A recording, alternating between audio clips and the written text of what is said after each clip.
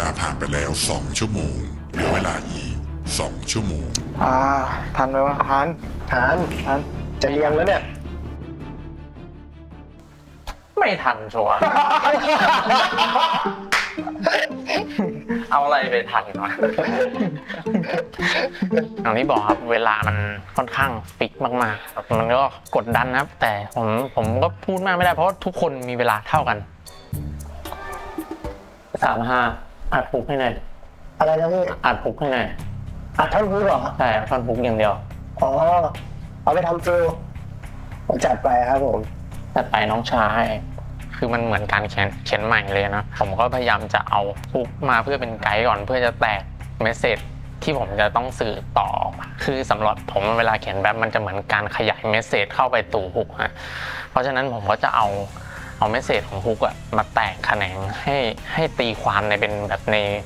ทางของของเราอะไรเงี้ยฮะแบบความรู้สึกของเราซะมากกว่าอะลองดูกันนะครับ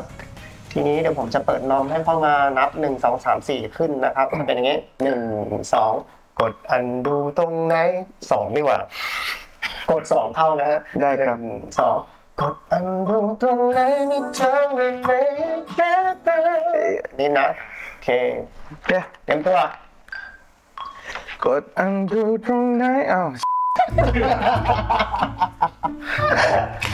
ขอโทษขอโทษขอโทษลืมลืมลืมลืม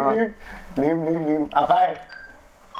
กดอันดูตรงไหนไม่ทอดได้ไหมให้แค่ตัวอืม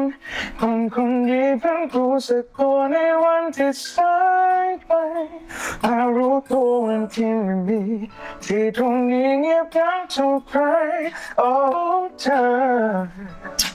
กลับมาเริ่มต้นใหม่ได้หรือเปล่า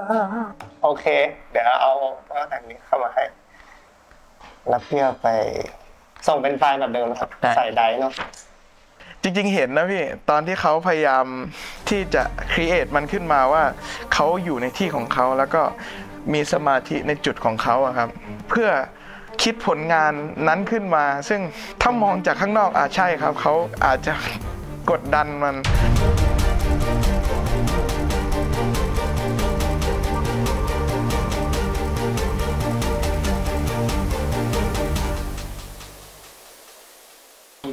โอเคดีเดี๋ยว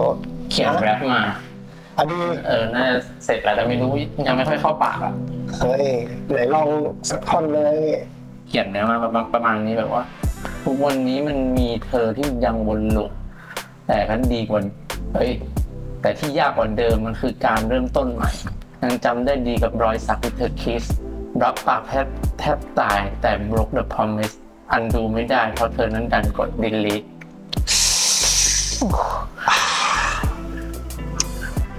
สีปากเลยอะปิดปากอันดูไม่ได้เพราะเธอต้องกด delete อะผมว่าเนื้อของแรปเขาที่แต่งค่อนข้างชัดเจน และเขาต่อยอดได้ดีจากตัวความหมายของเพลงเดิมของอันดูที่มีอยู่ครับ ผมใช้คำว่ารังสรรค์แล้วกันคำพูดหรือถ้อยคำเพลงอันนั้นอะให้ออกมาเป็นแรปที่ฟังแล้วรู้สึกโอ้อะผมว่าเขามาสจันนะ